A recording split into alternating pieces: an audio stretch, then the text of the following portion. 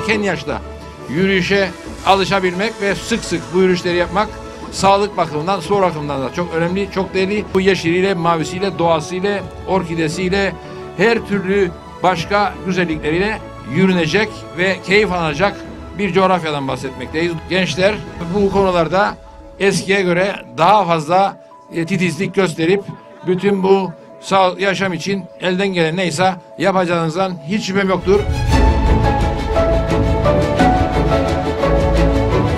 Tepebaşı'nın yeşili, mavisi, doğası, kültürü ve bu coğrafyanın insanların güzelliğiyle burada gerçekten tarihi görebilirsiniz. Burada kültürü yaşayabilirsiniz. Ve önemli olan tabii bütün bu güzellikleri geleceğe taşıyabilmek için çevreyi korumak, çevreye sahip çıkmak ve ona göre düzenlemeleri sürdürebilmek.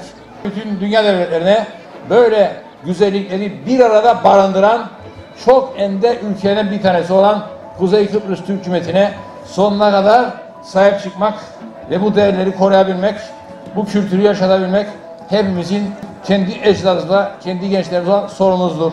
Bu kültürel faaliyetlerde bulunacak olan müzisyenlerimizi de dahil tüm ıslantılardaki ürünleri orada sergileyen tüm esnafımıza, üreticilerimize hepsine teşekkür ediyorum ve Tepebaşı'nın önde gelen insanlarına yaptıkları bu hizmetler için hepsine teşekkür eder. Hepinize saygılar sunarım.